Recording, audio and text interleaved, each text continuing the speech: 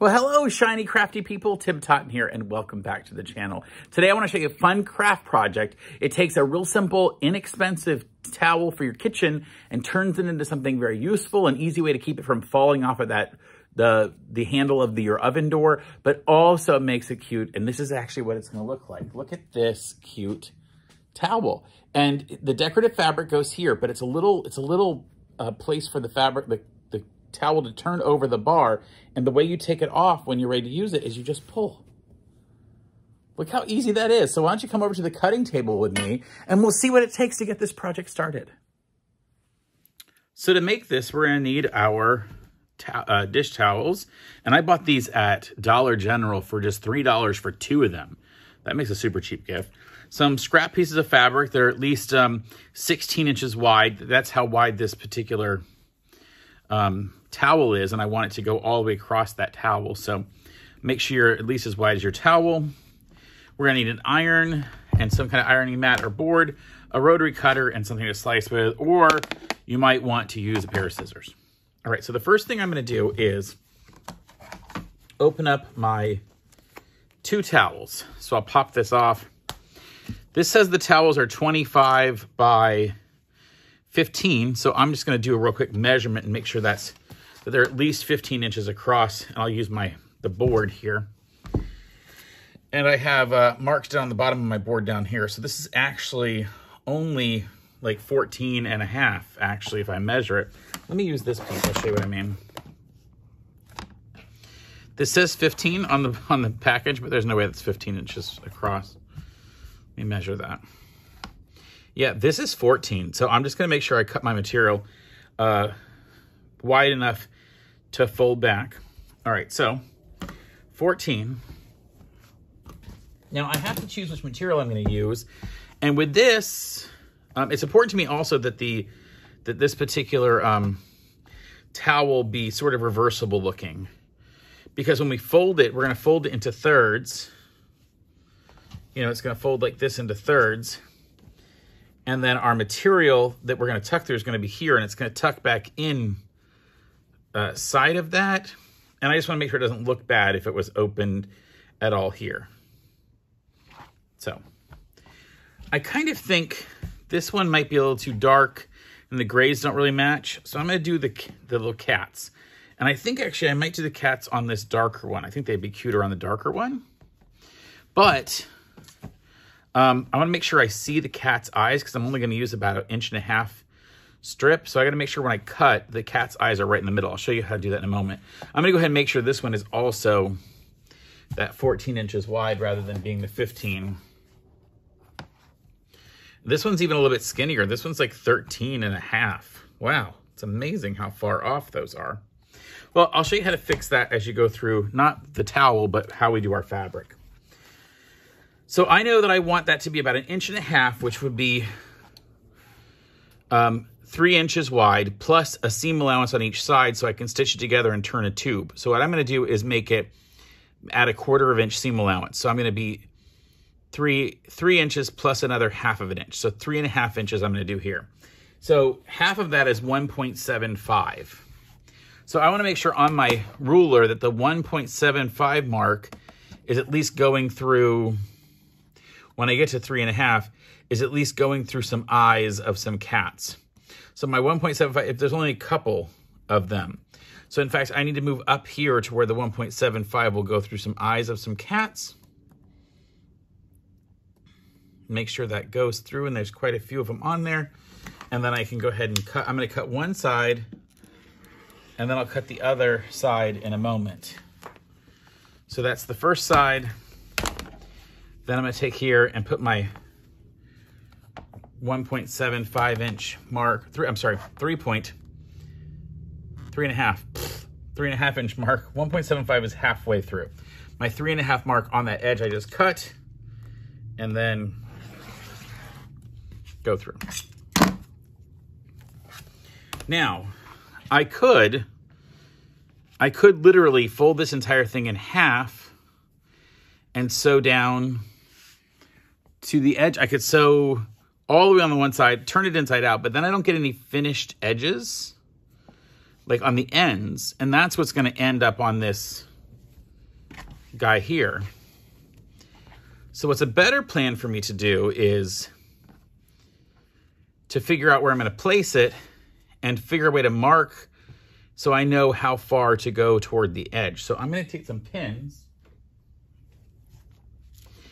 and I'm going to put my pin down here right at that edge there and down here at this edge, but not through both materials, just through the, the top material. And I know that's how I want that to be that long. I want a stitch to go through that. So I can fold this in half, and I'm gonna get my iron out here. So I can press this.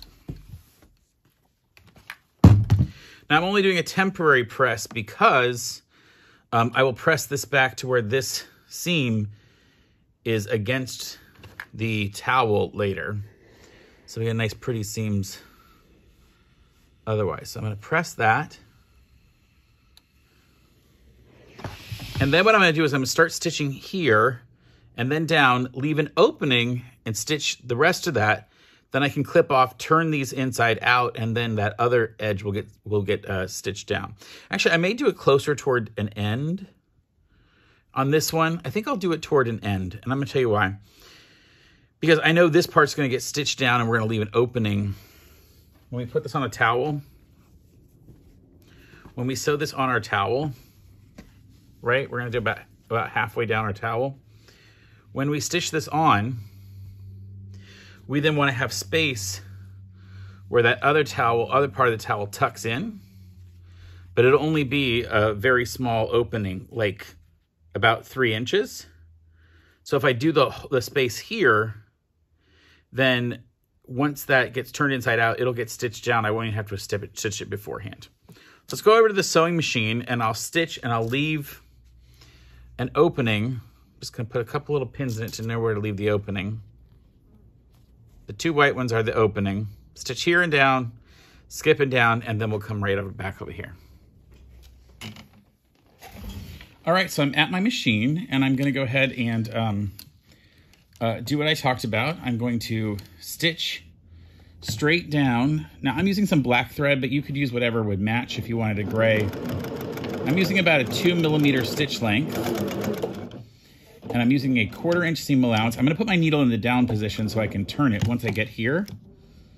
And then I'm gonna go to that pin and then back stitch.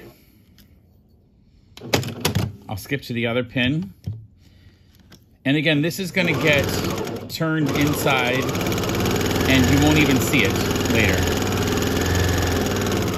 I'm gonna put this needle right down next to that pin. Again, I'm not, I'm not sewing over the pins, just be careful.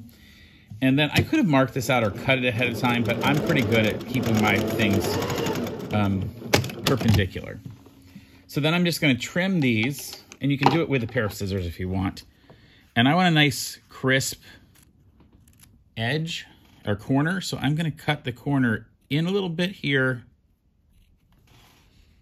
And then I'm to cut it over that way. Take out most of the bulk of that. This other one, I'm to do the same thing. Go ahead and cut that straight off.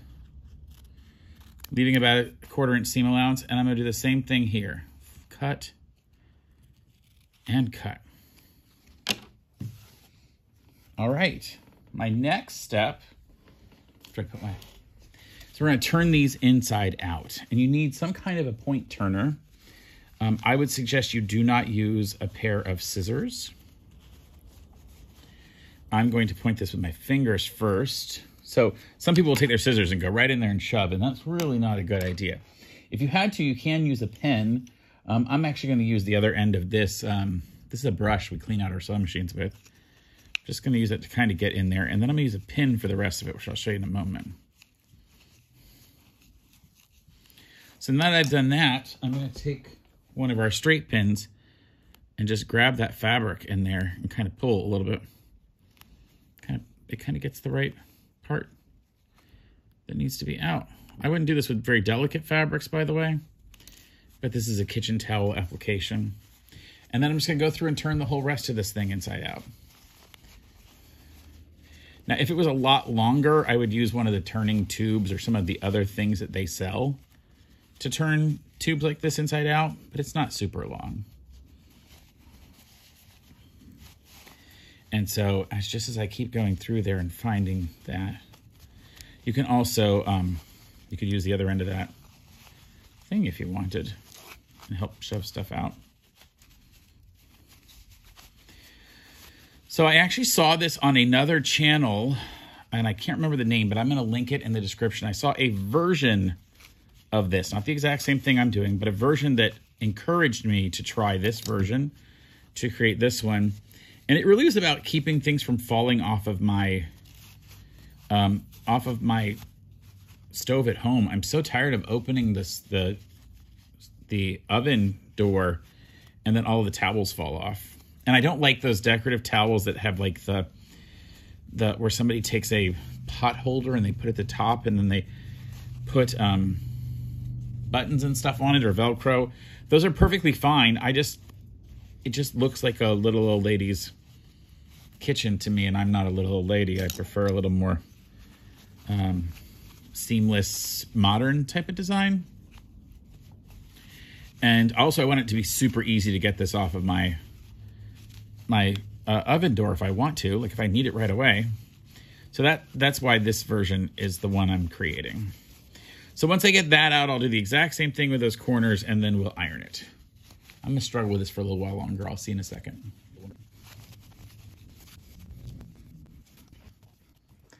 After way more time than it should have taken, I realized two mistakes. Number one, I stitched across those ends, so I can't actually turn this tube the way I wanted to.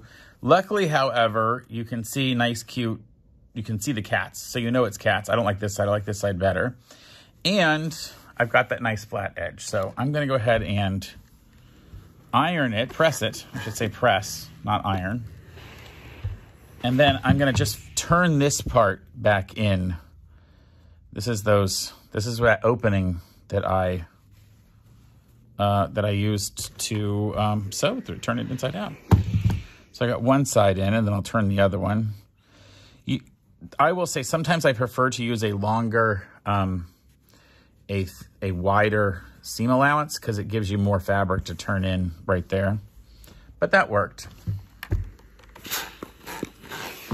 All right, so now what we're gonna do is we're gonna lay out our, our towel and we wanna measure where our halfway point is going to be. So I'm going to put, put it in half. This towel is so, hmm, this is a, this is, you can tell this is a $3 per set towel set, you know? I'm going to do what they should have done at the factory, which is clean off some of the little threads that came out. Not good. Um, it still works. The towel actually still, still works, but not pretty. All right. I'm going to find the center space and put some pins on it. So I've got that here the center. Now, you got to remember that this is going to be, it depends on how you want your piece to go. Like if you added some ruffle at the end, so you might want, you might want to put the material like a little up. I should go this way. So that when you pull this through it, when you fold it, when you pull this through, it doesn't go all the way to the end. Like after, let's see if you added a ruffle to the end of this It'd be cute. You could have a little ruffle fabric down there. I'm not going to do that here, so I'm going to put this a little bit below halfway so that when it goes um, into the, when you put it over the, the handle, it's going to pretty much be even at the bottom. So I'm put it a little bit down of the center. And I'll go ahead and put a couple of pins in it. I don't want this to move side to side, so I put the pin opposite of that. If I wasn't wanting it to move up and down, I would put the pin perpendicular to the way I don't want it to move. So right now it could move a little up and down because of sliding here, but I'm really more worried about it going side to side and not getting to the edges. I want to make sure these edges hit nice and pretty. All right, so the other thing I'm going to do is find the center of this and measure an inch and a half over either way because I want to leave that three inch mark.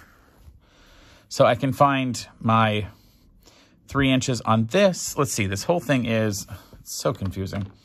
Here's the mark. It's 13 inches wide, so center is seven and a half. No, six and a half. Pfft, I knew that. Six and a half. So that's the center, right? I'll put a, a pin right at the center. So now I know I want to go an inch and a half either way, and that's where I'm going to start and stop. And put my stitch through that. I'll use two green ones so I remember which ones they are. Then I go over another inch and a half the other direction. You know, I think I want more like four inches, so I'm actually gonna go over two inches on either direction. I don't want it to be too pulled in. So I want that to be the width of what's coming through. So if I take my pin out of the middle, what this is gonna look like, I'll show you what it's gonna look like. I'm gonna do it this direction. This will be the finished one. We'll fold it in, half, in thirds, like this. And then it will fold over. You'll put this behind the rail. It'll come up over the rail. And then you'll put that material through this piece of fabric. Like this.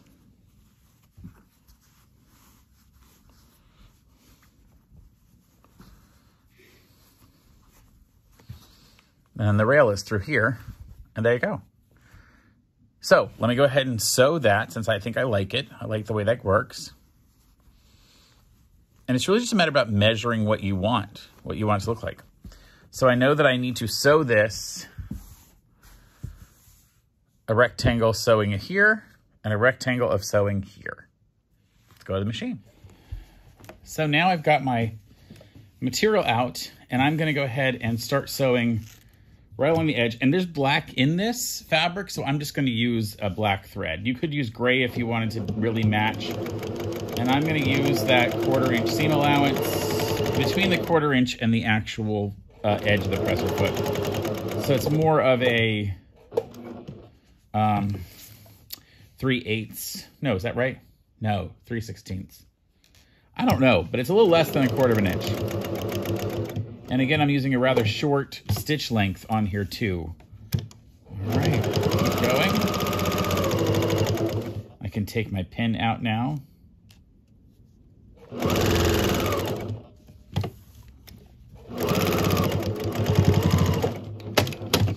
And that's one that's sewn in there. You see the rectangle.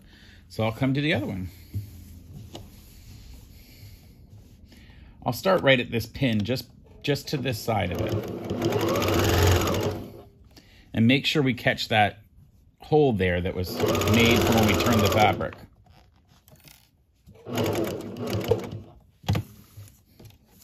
And I'm trying to use the same uh, seam allowance on both sides.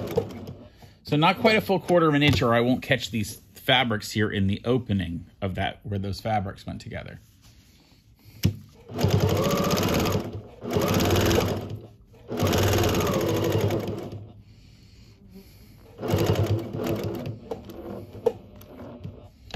Take the pin out, don't want to sew over it.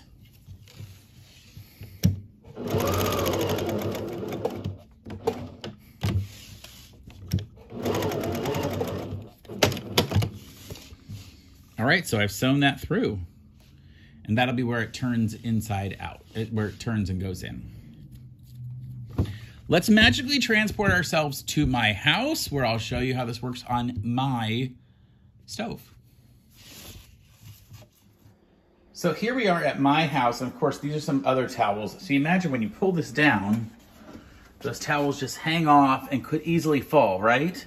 This one, on there nice and neat and comes off just as easy as the others. You just grab the fabric from behind, pull it right up.